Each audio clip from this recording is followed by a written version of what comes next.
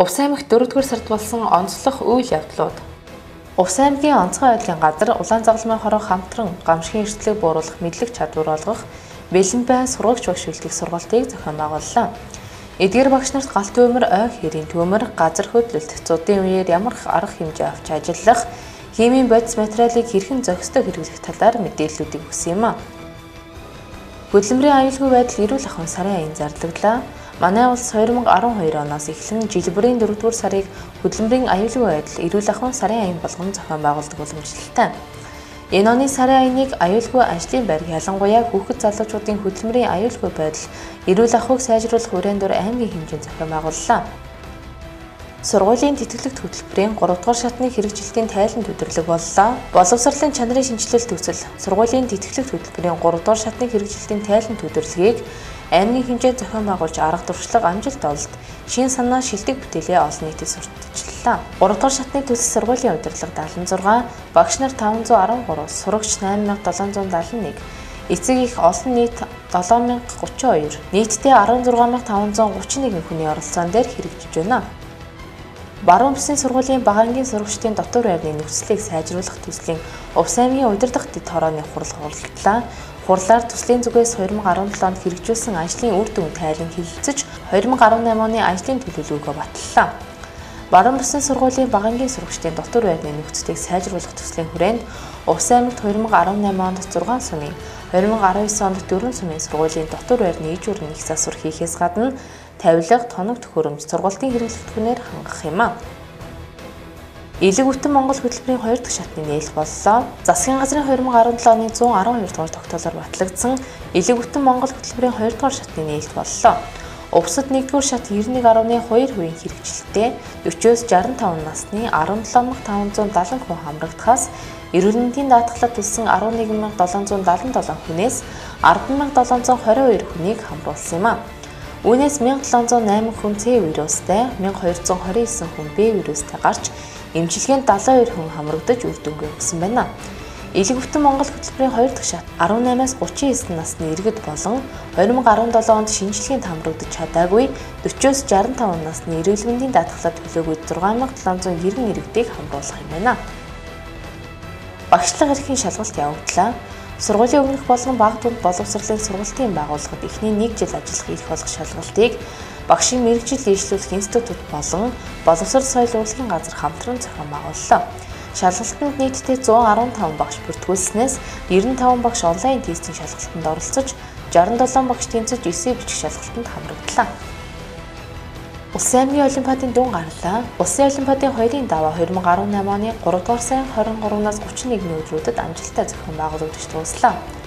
Олимпиад нь Улсын олимпиадын 14 төрөл, аймгийн олимпиадын 3 төрлөөр явагдаж давхардсан тоогоор 500 гаруй багш 1000 орчим суралцагчид оролцсон юм а. Соёлын төвийн хөгжмийн багш, бүжгийн багш нар сургалтанд хамрагдлаа. Боловсрол соёл урлагийн газраас 2018 онд аймгийн засаг дарга боловсрол соёл шинжлэх ухааны спортын сайдтай хийсэн гэрээнд соёлын төвүүдийн хөгжим бүжгийн мэрэгжлийн багш нараар хангах багш ажилтныг чадваржуулах сургалтыг мэрэгжлийн урлагийн байгууллагатай хамтран зохион байгуулах тухай заалтыг үндэслэн соёлын төвийн хөгжмийн багш бүжгийн багш нарыг зааг харгацсан ур чадрыг дээшлүүлэх ажлын байрны чиглэлийг хэрэгжүүлэхэд дэмжлэг үзүүлэх зорилгоор 4-р сарын 2-оос 6-ны өдрүүдэд ойрт хөгжим жүжигийн тайтрын уран бүтээлчтэй хамтран сургалт зохион байгууллаа. Нийт соёлын төвийн 29 багш сургалтанд хамрагдаж сертификат гардаг авсан юм а. Увс аймагт ихэр утгах төрлөө Увс аймгийн Улаан гом сумын 2 дугаар овгийн малчин Батжуулууны төмөн жаргалын хотод ихэр утгах төрлөө. Энэхүү ховор тохиолдол нь олон жилийн өн авчирдаг хэмээн нутгийн иргэд бэлгшээж байна зөөлөн туслах ажил үргэлжилж байна. Боловсрол соёл урлагийн газрын 2018 оны зөөлөн туслах ажлын удирдамжийн дагуу сургууль цэцэрлэгийн багш нарын арга зүй ур чадварыг дээшлүүлэх сургалтын орчныг оновчтой төлөвлөх, сурагчдын сурлагын чанарыг сайжруулахад багш нарт дэмжлэг үзүүлэх, эсэлтийн ерөнхий шалгалтанд бэлтгэх чиглэлээр үлгий тариалан сумын сургууль цэцэрлэг дээр 2018 оны 4-р сарын 5-наас 6-ны өдрүүдэд ажиллалаа. Увс аймгийн Бөхмөрөн сум улсын тэргүүний сумд өрсөлдөж баруун бүсээс шалгарлаа. Улсын тэргүүний сум шалгаруулах болцлын дагуу Баяулгийн аймгийн Толов сум, Увс аймгийн Бөхмөрөн сум, Завхай аймгийн Тосон Цэнгэл сум, Говьалтай аймгийн Төвөрг сум, Ховд аймгийн Болгон сум тус тус материал ирүүлсэн байна. Шалгуур үзүүлэлтийн үнэлгээгээр сумууд дараах байдлаар байр эзэлсэн байна. Үүнд 1-р хайранд Увс аймгийн бүх мөрөн сум 393.2 оноо, 2-р хайранд Ховд аймгийн Болгон сум 392.2 оноо, 3-р хайранд Завхай аймгийн Тосон цэнгэл сум 385.7 оноогоор тус тус байр эзэлсэн байна. Увс аймагт шатхууны буулаа, Увс аймгийн застраг Батцайхан ундраг увс компани захирал Норвол самбууд хүсэл гаргасны дагуу дизель түлшийг 150 төгрөгөөр А92 болон А80 бензинийг 20 төгрөгөөр хэмдрүүлж хамтран ажиллах санаам гिचигт гарыг өсгөх зурлаа. Эрүүл мэндийн салбарын хөгжил хөтөлбөр 5 төслийн хүрээнд Азийн хөгжлийн банкны худалдан авах ажиллагааны үндсэн зарчим мэдээлэл сэдэв сургалтыг 4-р сарын 11-ний өдөр зохион байгууллаа. Уг сургалтаар нийслэлээс остогдсон аймагуудын нэгдсэн эмнэлгийн нэн судлалын лаборатори, ариун тухлын төв тасгийн барилгын засвар, эмнэлгийн хог хаягдлыг төр хадгалах байрны барилга, угсралтын ажлын гүйцэтгэгчээ сонгон шалгаруулах, тендерт оролцогчдын чадварыг бэхжүүлэх, өрсөлдөөнийг нэмэгдүүлэх мөн Азийн хөгжлийн банкны худалдан авах ажиллагааны талаарх мэдлэг мэдээлэл болон тендерт оролцогчдод тендерийн баримт бичиг эрхэн бэлтгэх зөвлөмжийг өглөө. Засгийн газрын хэрэгжүүлэгч агентлаг гэр бүл хүүхэд залуучуудын хөгжлийн газраас 2 дахь жилдээ зохион байгуулж буй ирээдүйн эцэд мэрэгчил сонголтын аян Увс аймагт 4-р сарын 13-ны өдөр ерөнхий боловсролын 1-р сургууль болон ерөнхий боловсролын 2-р сургуулийн урлагийн зааланд зохион байгуулагдлаа. Улсын тэргүүний 1-р сургуулийн багш сурагчид гаргасан амжилтаараа бахархаж байна. Улсын тэргүүний лаборатори 1-р сургуулиас амжилт бахархал 2018 арга хэмжээг зохион байгууллаа. Тус сургуулийн хамт олон сурагчид энэ хичээлийн жил томоохон амжилтуудыг гаргажээ. 2017 оны Монгол Улсын шилдэг хүүхдэр 1-р сургуулийн 10 ангийн сурагч Мэнд сайхан улсын хэмжээнд 41 лаборатори сургуулиас ажлын үзүүлэлтээр 2 дугаар байр. Дөрвөлжлөгийн тэргүүний байгууллага Эко сургууль хүрэл гэрээгээ хүртэж 4 сая төгрөгийн төсөл хэрэгжсэн зэрэг тоочод байвал томоохон амжилтуудын эзэд болжээ. Монгол Улсын тогтвортой айлж уучлал хүртээмжтэй эдийн засаг төслийн оролцогч талуудын уулзалт төлөвлөлтийн семинар боллоо. 2018 оны 4-р сарын 16-наас 17-ны хооронд аймгийн засаг даргын 5 газрын хурлын зааланд Монгол, Тайланд, Германы 3 улсын хүрээнд 2018 оноос шинээр хэрэгжиж байгаа Монгол улсын тогтвортой аялал жуулчлал хүртээмжтэй эдийн засаг төслийн оролцогч талуудыг тодорхойлох төслийн хэрэгжүүлэх үйл ажиллагааны анхан шатны төлөвлөлтийн семинар боллоо. Цэцэрлэгийн багштай баярлалаа. Боловсрол соёлын шинжилгээ ухааны спортын яам Монгол Улсын соёлын тэргүүний ажилтан хөгжмийн зохиолч Туяагийн санамжлагаар сургуулийн өмнөх боловсролын багш нарын ажил хөдөлмөрийн онцлогийг олон нийтэд таниулах алдаршуулах зорилгоор НТН телевизийн цэцэрлэгийн багштай баярлалаа. Нэвтрүүлгийн төслийн баг манай аймагт 14 хоног ажиллалаа. Доктортой амжиргаа 3 төслийн аймгийн чадах хөгжүүлэх баг Давс Сагил төргөн цомдод ажиллалаа. Доктортой амжиргаа 3 төслийн ажилтан Бадам Нэмбо аймгийн чадах хөгжүүлэх багийн гишүүд Доктортой амжиргаа 3 төслийн аймгийн чадах хөгжүүлэх сургалтыг Давс Цагил Төргөл сумдын иргэдийн төлөөлөгчдийн хурлын төлөөлөгч засаг даргын хамгийн газрын удирдлага, мэрэгчлэтнүүд, багийн засаг дарга, багийн иргэдийн нийтийн хурлын дарга, иргэд болон иргэний нийгмийн байгууллагын төлөөллүүдийн дунд зохион байгууллаа. Төсвийн сахилга бат иргэдийн хяналт оролцоо дэд хөтөлбөрийн хүрээнд Давс Төргөн Цагил сумдад ажиллалаа. Төсвийн тухай хууль, шилэн дансны тухай хууль, хөгжлийн бодлого төлөвлөлтийн тухай хууль зэрэг томоохон хуулиудын хэрэгжилтийг хангах үүднээс аймгийн иргэдийн төлөөлөгчтэй хурлын тэргүүлэгчтэй хуралдаанаар төсвийн сахилга бат ба иргэдийн хяналт оролцоо дээл хөтөлбөрийг хэлэлцэж баталсан. Энэ хүрээнд аймаг сумдад хөтөлбөрийн хэрэгжилтийг хангах сумын зөвлөлт байгуулагдаж ажиллаж байна. Энэ ажлыг эрчимжүүлэх 2018 оны 1-р улирлын ажлыг дүүнэх зорилгоор аймгийн засгийн тамган газрын санхүү төрийн сангийн хэлтсийн дарга эрдэнэ сургууль давс цагил дөрвөн цумдад ажиллалаа. Ховд аймгийн засаг даргын тамгын газрын төрийн захиргаа удирдлагын хэлтсийн даргаар ахлуулсан ажлын хэсэг Увс аймгийн засаг даргын тамгын газарт ажиллаж чанарын удирдлагын тогтолцоо ISO 9001:2015 стандартыг нэвтрүүлсэн туршлагыг судаллаа.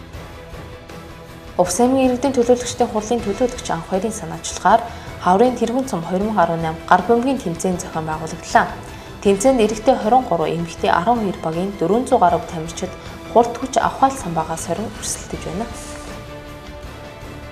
Хүүхэд харах үйлчлэгээний хүүхэд харагчдад сургалт зохион байгууллаа. Аймгийн засаг даргын тамгын газрын нийгмийн бодлогын хилтэс боловсрол соёл урлагийн газраас 2018 оны 4-р сарын 21-ний өдөр аймгийн төвийн хүүхэд харах үйлчлэгээний төвийн 21 хүүхэд харагчийг хамруулсан сургалт зохион байгууллаа.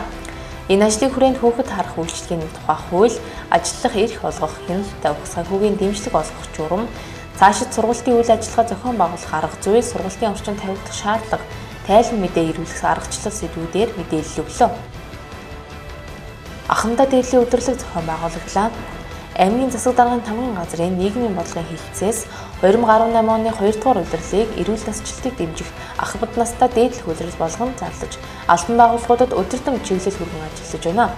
Энэ ажлын хүрээнд 2018 оны 4-р сарын 21-ний өдөр боловсролын салбарын ахмад багш ажилтнуудын дунд ахмадаа дээдлийн удирдлагыг улаан гомцомын цэцэрлэгүүдийн хамтан зохион байгууллаа. Завхан аймгийн Тэс сумын 0277 дугаар ангид алба хааж байгаа хилчин дайчтай ирэглээ. Увс аймгийн засаг дарга хил хамгаалахад туслах хүчний зөвлөлийн дарга Батсайхан засаг даргын тамгын газрын цэргийн штабын дарга дэд турандаа тогт хоёр ойр төвжим жүжигийн театрын уран бүтээлчид Завхан аймгийн Тэс сумын хилийн 0277 дугаар ангид Увс аймгаас татагдан хугацаа цэргийн алба хааж байгаа цэргүүдээ ирэглээ. Цагдаагийн ерөнхий газрын урьдчилан сэргийлэх хилцээс Монгол Улсын хэмжээнд зохион байгуулж байгаа хүүхэд хамгааллаа энэ хүрээнд Увс аймаг дахь цагдаагийн газраас санаачлан гэр бүл хүүхэд залуучуудын хөгжлийн газартай хамтран хүүхдийг зодод шийдэхгүй байх дэлхийн өдөр өдөрлөгийн арга хэмжээг Увс аймагт анх удаага зохион байгууллаа. Өдөрлөгийн арга хэмжээ төрийн болон төрийн бус байгууллагуудын алба хаагчдаас хүүхдийн эрх Хүүхэд хамгаалал хүүхдийн эсрэг хүчирхийллийг таслан зогсоохыг уриалсан уриалгыг барьж Улаангом цумын 3 зүгээс нэг зэрэг жагсаж Гювабатрын талбайд ирж нэгдсэн жагсаалыг зохион байгууллаа. Увс аймагт мянган бийч чууллаа. Увс аймгийн засаг даргын тамгын газрын нийгмийн бодлогын хилцээс санаачлан Увс өв соёл соёл урлагийн ажилтны зөвлөгөөнийг Улаангом хотноо зохион байгууллаа. Энэхүү ажлын хүрээнд цэнгэлт хүрээлэнд мянган бичтийн үзүүлбэрийг толилуулж улмаар сум бүрийн соёлын төв уран бүтээлчд болон ардын авийн яснууд тоглолттой өргөн байлаа.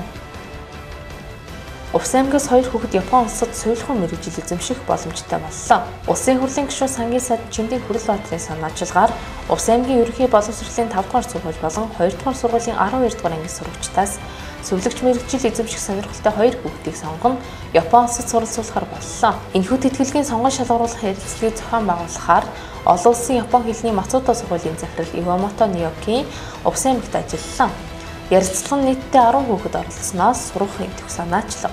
Тууштай байдлыг харгалзан үзэж хоёр хүүхдийг сонгоо авах ба Японы талаас Улаанбаатар хотод 3 жил совилхон мэрэгжил эзэмших хэлний бэлтгэл суух зардал сургуулиа төгсөөд Япон улсад 2 жил суралцж ажлын байраар хангах зэрэг асуудлуудыг бүрэн хариуцж ажиллахаар боллоо.